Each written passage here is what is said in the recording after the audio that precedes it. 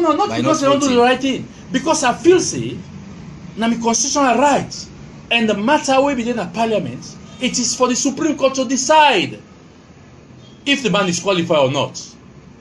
Supreme Court only na im go decide that. But why Honorable Mohamed Bangura go against in party position? Well, me, old member of parliament, I, read, I, I, I read and write, I read the constitution, I digest am, in and out, I say wetin me party ask me for do na the wrong thing.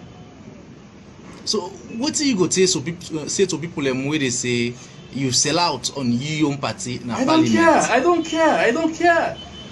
Na who don sabi Mohammed Bangura na dey talk say sell out, my friend. Me na me make myself in politics. Not a single individual responsible for who that be. Who say I join APC? I don't make me name before I join